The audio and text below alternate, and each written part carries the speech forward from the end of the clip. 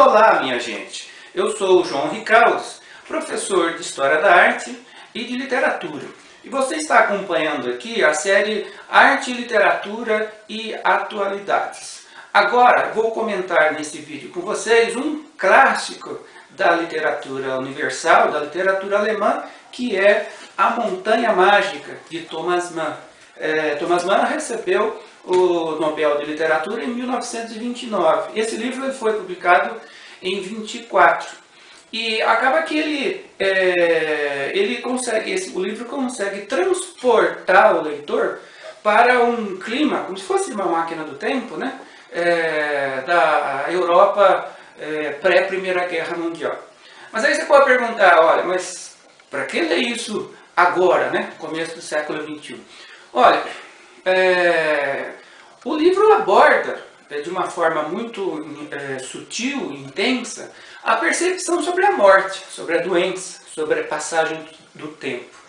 E quando eu estou fazendo esse vídeo aqui, o Brasil passava aí por uma faixa de 110 mil mortes pela pandemia da Covid. Então, é extremamente pertinente, né? além da, do, do desfrute, do sabor é, de qualidade, uma literatura é, que é, enriquece, encanta a alma. Mas chega de papo e vamos à obra.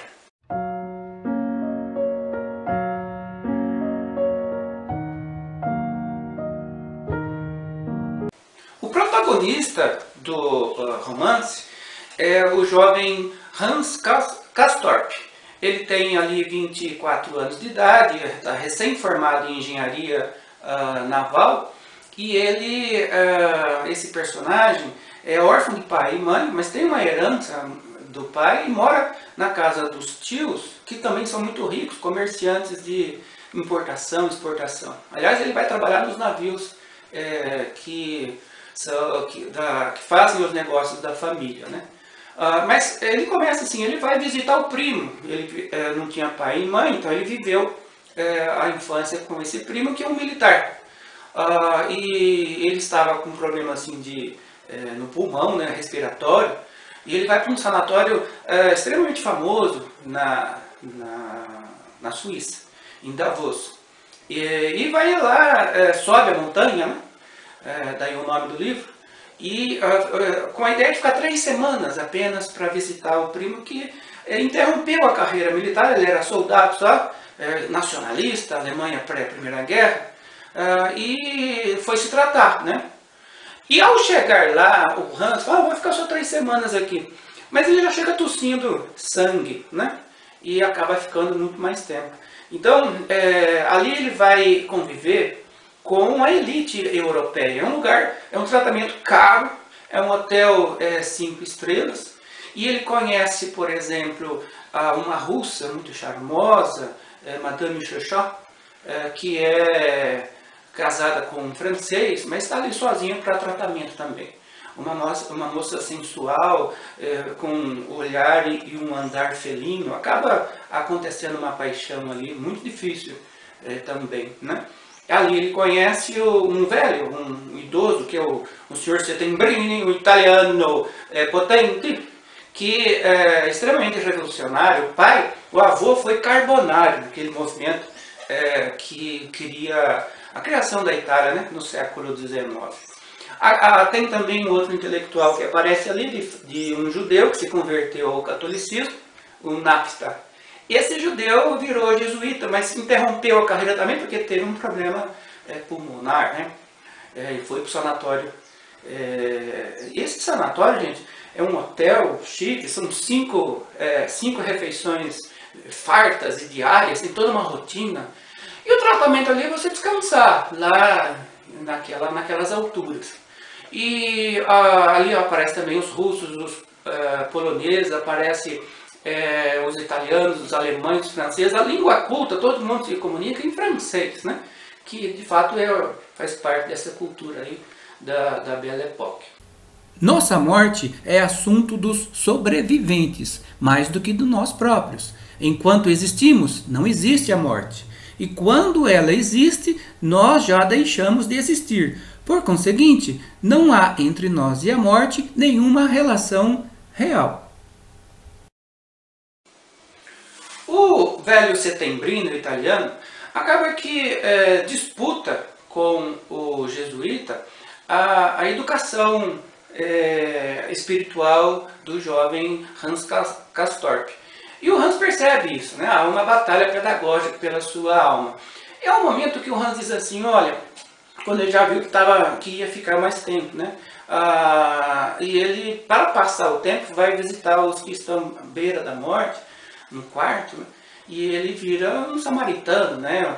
Uma atividade de caridade, de conversar com quem está nos últimos momentos.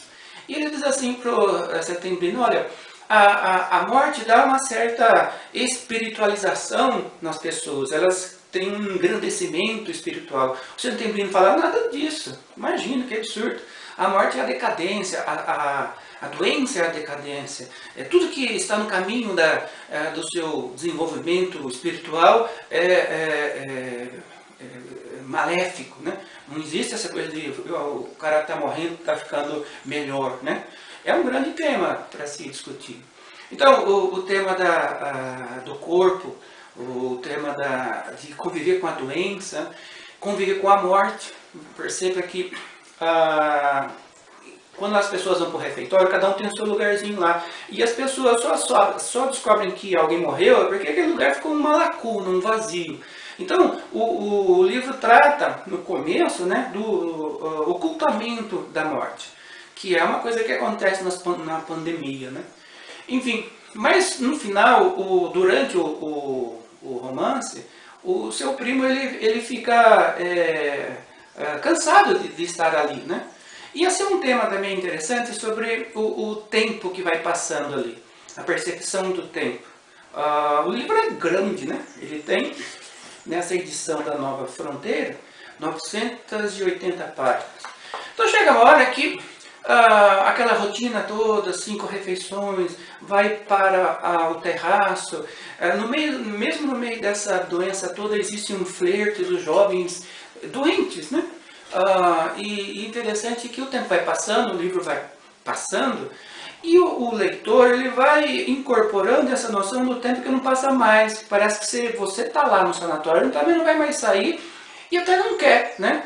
O, o, Hans passa por esse momento. Ele chegou, não só três semanas, ele vai ficando um ano, dois anos.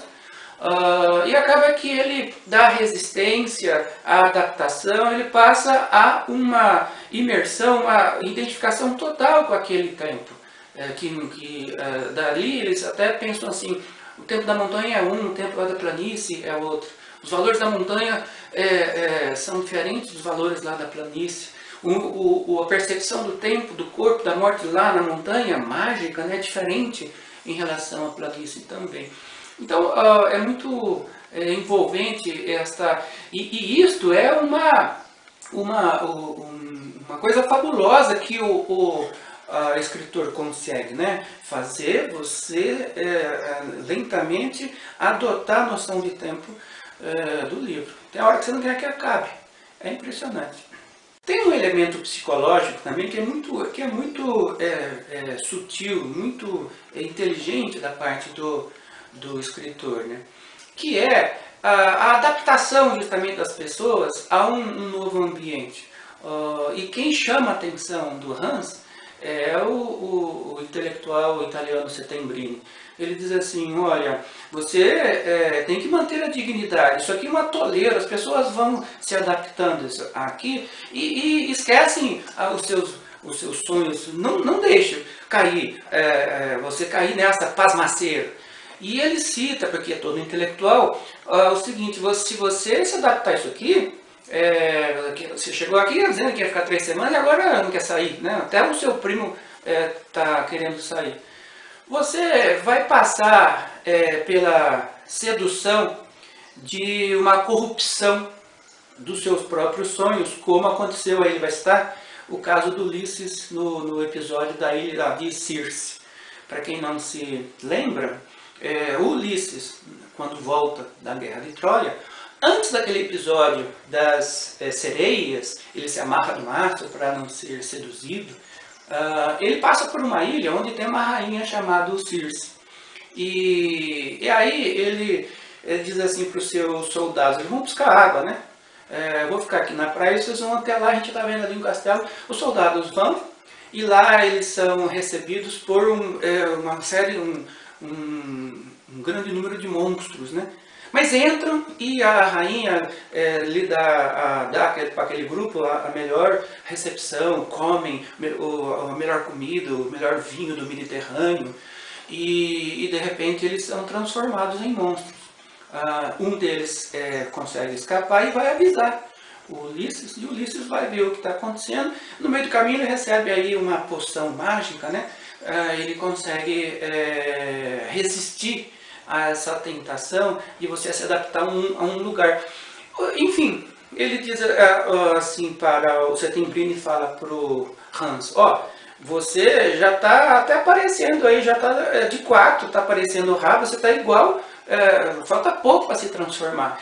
E é um alerta interessante né, para todos nós, situações de se adaptar, de é, achar que aquilo é uma vitória, que aquilo é uma estabilidade, quando aquilo na verdade é uma ilha de Circe. É muito interessante, muito interessante essa, essa passagem.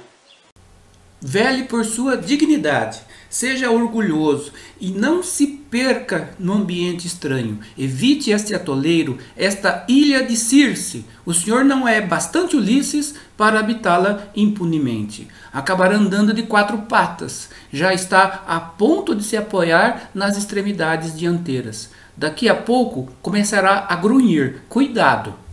E para terminar, vamos falar um pouquinho do ambiente é, cultural, é, de mentalidade da época. Né?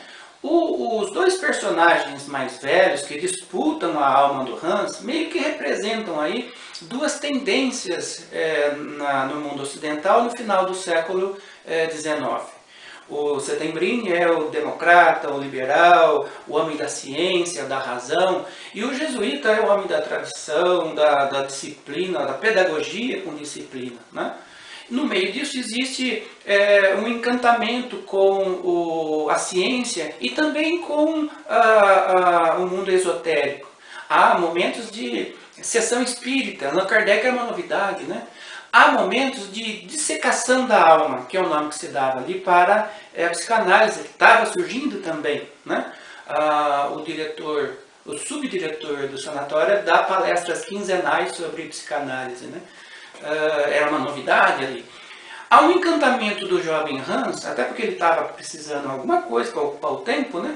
É, com a medicina. Ele manda trazer não livros de uh, engenharia, mas que é a área dele, mas em medicina. E o leitor acaba tendo aí 80, 90 páginas sobre o sistema linfático, sobre a, a, a, o sistema imunológico. De repente o Hans se cansa disso e, e, e é, manda vir lá da planície livros de astronomia, que leva ele à astrologia, novamente as forças é, em oposição. Aí final do livro aparece, a grande novidade tecnológica é a vitrola, um móvel grande que você abre assim, coloca o disco, né? E ele passa noites escondido lá, escutando óperas. E aí uh, o leitor é levado a, a ler sobre a, a, o roteiro de Carmen, que é maravilhoso mesmo, né? Então você entra naquele, naquele clima. E existe também o clima da, da, de parte da população, da elite, que acha que a guerra fortalece, que a guerra é necessária, agora vai ser importante, né? O, o, e que tem várias dessas posições lá do jesuíta, por incrível que pareça, e do Setembrini, que tem a ver com a, a, a, filosofia de Nietzsche, né? O conflito fortalece, não tenha medo do conflito. A civilização enfraqueceu o homem com o cristianismo e com a filosofia, que é coisa do Nietzsche. E aparece solto assim no, no, no livro, um pouco com cada um dos intelectuais. Então é muito interessante você é, é, perceber isso. Né?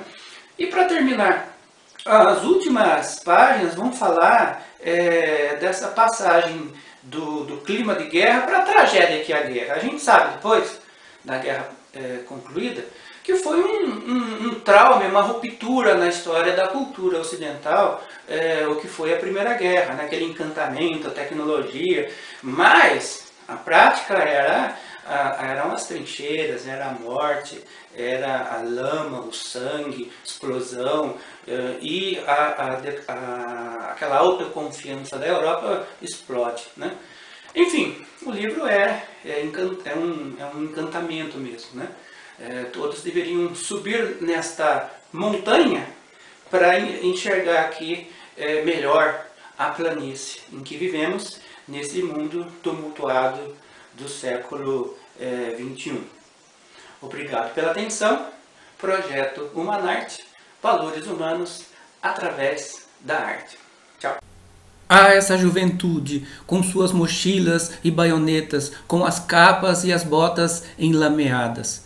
Sonhando de um modo humanístico estético, poderíamos imaginá-la num quadro diferente. Pode-se ter a seguinte visão: esses jovens montando e banhando cavalos numa enseada do mar, caminhando pela praia em companhia da namorada, achegando os lábios à orelha da meiga noiva, ou talvez ensinando uns aos outros, numa amizade feliz, o tiro de arco. Em lugar disso, jazem ali com o nariz no barro bombardeado, que façam isso com alegria, ainda que transidos de medo e cheios de saudades da mãe, é assunto à parte, que nos orgulha e nos envergonha, mas nunca nos deveria induzir a colocá-los nesta situação.